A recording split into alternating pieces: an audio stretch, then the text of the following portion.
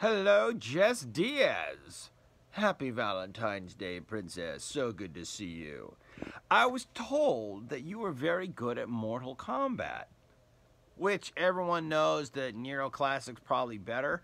Um, I mean, no aspersions on you. You still are. You you are my Valentine. Nero's really good at that, though.